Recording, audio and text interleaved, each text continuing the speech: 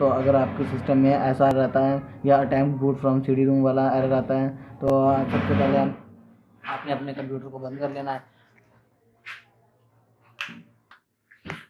मैंने ऑफ़ कर दिया, जैसा कि मैं आप ये कंप्यूटर को ओपन करता हूँ।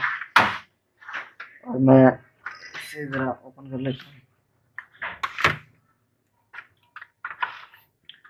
आपने यहाँ देखना है ये तीन तारें लगी हुई हैं मेरे पास मेरे पास दो हार्ड हैं और एक सी रूम की तार लगी हुई है।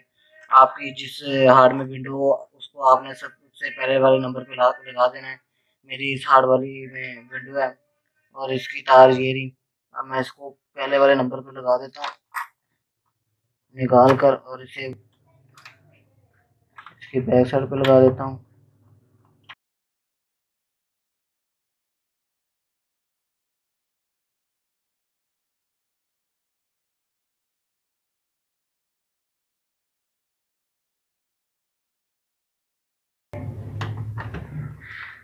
जैसा कि मैंने पहले वाली तार को लगा दिया है।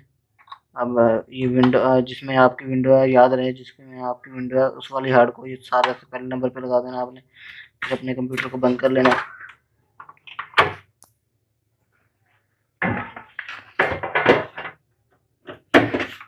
अब आपने अपने कंप्यूटर को दोबारा ओपन करना है।